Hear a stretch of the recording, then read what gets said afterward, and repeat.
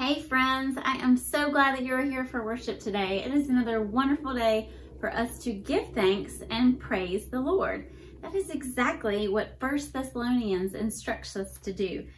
In um, chapter 5, starting in verse 16, uh, this is what Paul writes. Be joyful always, pray continually, give thanks in all circumstances, for this is God's will for you in Christ Jesus. So those are three things. Be joyful always, pray continually, and give thanks. And we are focusing on that giving thanks portion uh, for the whole month of November. We are going to read from Psalm 95 so that we can be reminded of all those ways that we can give thanks to God right now. From Psalm 95, Come, let us sing for joy to the Lord. Let us shout aloud to the rock of our salvation. Let us come before him with thanksgiving and extol him with music and song. For the Lord is the great God. He is the great King above all gods. In his hand are the depths of the earth, and the mountain peaks belong to him. The sea is his, for he made it, and his hands formed the dry land. Come, let us bow down and worship. Let us kneel before the Lord our Maker. For he is our God, and we are the people of his pasture, the flock under his care. So we are going to sing our praises to God right now. We are going to extol him with music and song. Will you join me in singing?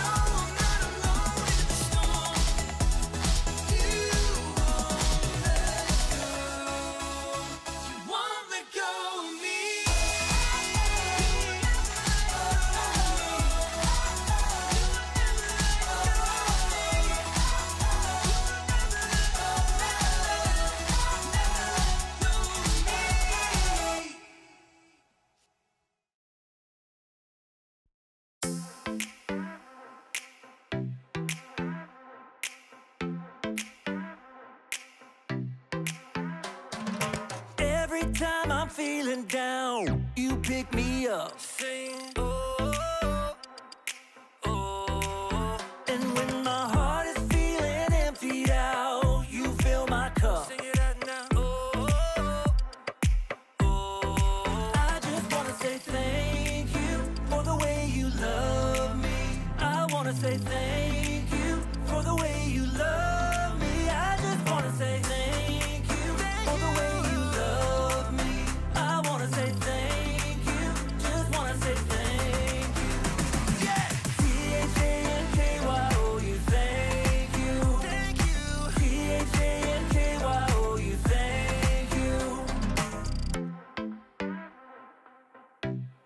Here we, go, verse 2. I'm grateful for the way you've been a friend to me. Sing, oh.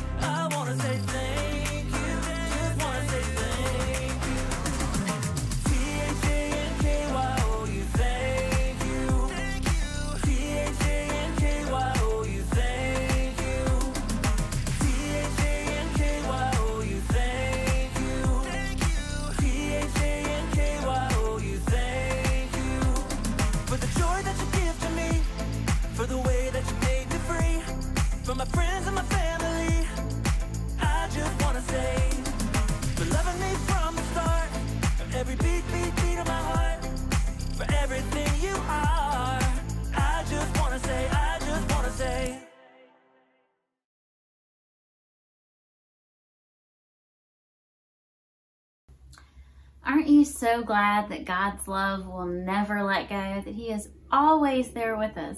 That was a fun song with a lot of jumping around, right? You might be a little bit out of breath after praising God with your body in that way.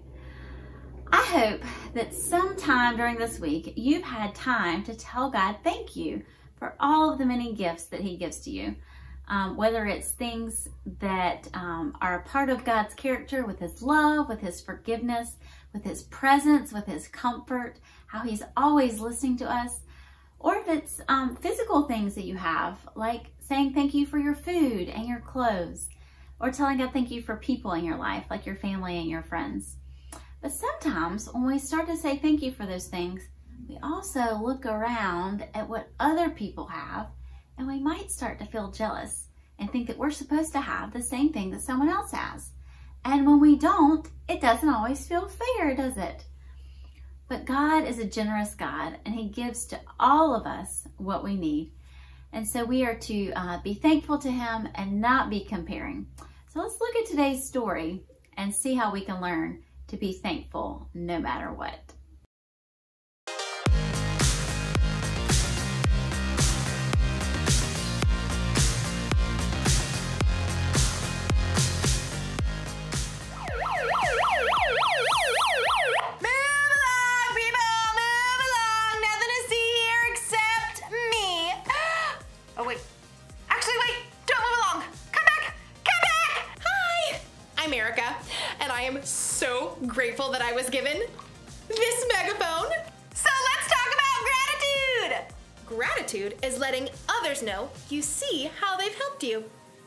With my Megaphone 3000, I can take shout outs to a whole new level.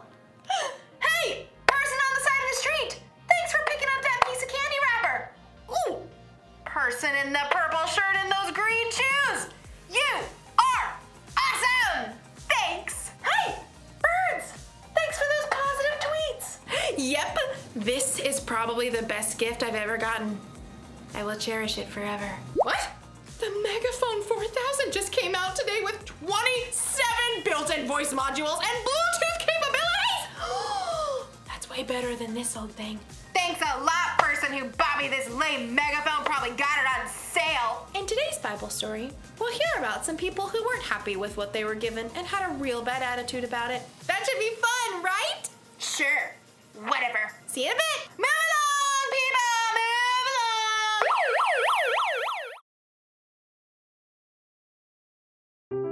The Bible. It's 66 books of history, stories, letters, and poetry that fit together to form God's one big story. The epic adventure of how He created us and loves us so much that He made a way to rescue us. As we travel through the Bible, from Genesis to Revelation, we discover people who met God and found their lives changed forever. And now for an amazing story, inspired by the book of Matthew, chapter 20, verses 1 through 15. While Jesus taught in many different ways, he often shared the most important truths as stories. He used the things and animals and situations in people's everyday lives to help them understand things that were bigger. One day, Jesus explained to his closest friends what the kingdom of heaven was like, and he used a story to help it connect. Now, if he told that story to us today in our world right now, I think it would go a little something like this. There once was a man who owned a large vineyard. Here at Grape Escape Vineyards, we specialize in red, white, and green grapes. One bright autumn day, the man called in his manager to find out how his harvest was doing. It's doing great. Thanks a bunch. We shall pick the grapes immediately before the beetles nibble them up. That's some good raisoning. The next morning, the vineyard owner rose while it was still dark and hurried to the center of town. He arrived at around 6 a.m., and there were people still standing around noshing on grape jelly muffins. Are you looking for work? Yes, indeed. How much do you pay? $100 for the day. Precisely perfect. Let us proceed. The owner led the workers back to his vineyard. Baskets, hats, uh, d- d- don't squash the grapes. Oh, what happens if we do that? They might whine a little. The vineyard owner wanted to be sure that the beetles wouldn't ruin his precious grape harvest, so around three hours later at 9 o'clock, he returned to the town center and found more people lined up for work. You come pick grapes for me. I'll pay you well. Good deal. Let's go. The workers were all picking as fast as they could, but there were still long rows to harvest, so the vineyard owner went back to the town center at 12 o'clock noon, three hours later, and there were still plenty of workers standing around. Come, help out in my vineyard. And after the new set of workers had worked for three hours, the vineyard owner returned to the town square again at 3 o'clock. Need some more grape pickers, you in? The blazing sun beat down as the vineyard owner added the new workers to his crew. One of the men hired at dawn wiped sweat off his face as he sipped his water. Showing up for work in the afternoon. What a terrible work ethic. The first workers returned to picking grapes, filling basket after basket. But even though it was still 5 o'clock, the vineyard owner returned to the town square where he still found plenty of people hanging around counting cockroaches and looking bored. Why have you been standing here all day? No one, like, hired us. I'll hire you. Come work in my vineyard. For the final hour of the workday, everybody pitched in. Whew! As the last baskets of grapes were brought up, the owner called to his manager. Just look at all these beautiful grapes, all freshly harvested. A great job, if I do say so. Pay the workers. Start with the ones I hired last of all. So the manager pulled out his cash box and lined up the workers. He started with the ones who only picked grapes for an hour. Here you go. $100. Like totally rad, man. At the other end of the line, the workers who began at dawn began doing some quick math. A hundred dollars for one hour of work. Huh, that means we're about to get over a thousand dollars. The manager continued to hand out pay packets to the workers who started at 3 o'clock $100. and noon $100. and 9 o'clock in the morning. $100. Okay. By the time the workers who started at 6 a.m. reached the front of the line, they were getting a little bit um, worried. You're paying us what's fair for working all day, right? Yep. $100. What? Preposterous. The early morning workers stalked off to find the vineyard owner. You paid those hooligans who only worked an hour the same as us, even though we sweated all day picking your grapes. Just look at this crispy sunburn. Fred, didn't you agree to $100 for the whole day? That is a technicality. Do you feel cheated because I gave so freely to the other workers? Don't I have a right to do what I want with my own money? But it's not fair. Take your money and go. I want to give the ones I hired last the same pay I gave you. The early workers glared and skulked away, cash in hand. They had let the owner's generosity to someone else ruin their day. Jesus' story made it clear God gives freely to everyone. Rather than focusing on what you don't have, adjust your attitude. Choose to look at what you do have.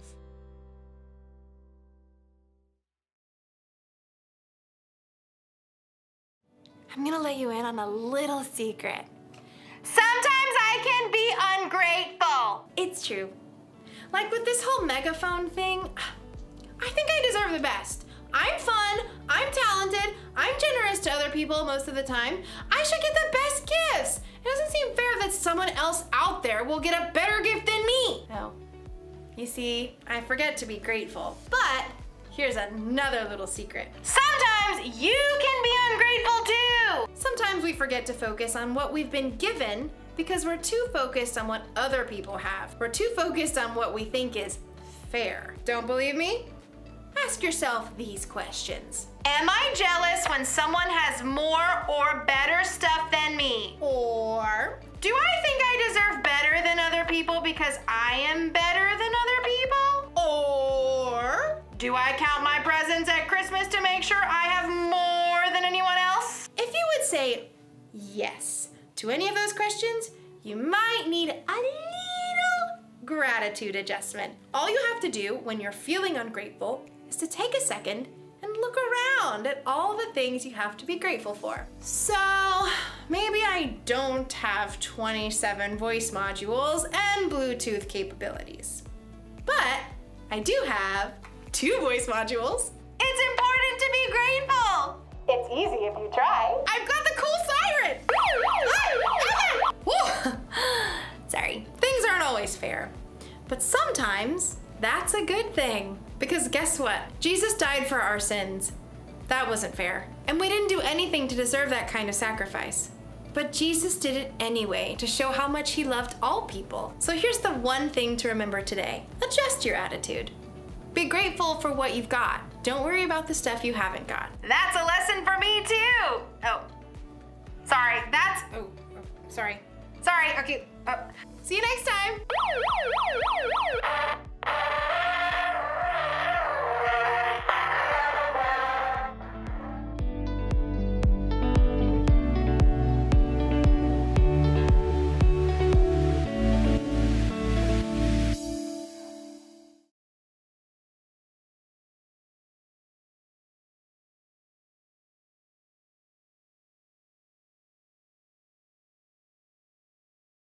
Did you know that in the Bible it tells us over 100 times that we are to be thankful? We are to be people that give thanks and praise to God.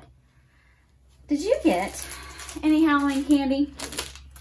Did you uh, get to go trick-or-treating or did mom and dad um, buy you some special treats to enjoy over Halloween? Maybe um, you got a lot of M&Ms and those are like your favorite. Or maybe you got Skittles and you were like, I just want the chocolate. I don't want the fruit stuff. Um, no matter what you got, hopefully you were thankful about it. And maybe you um, traded with a brother or a sister or a friend to um, get some of those goodies that you really like.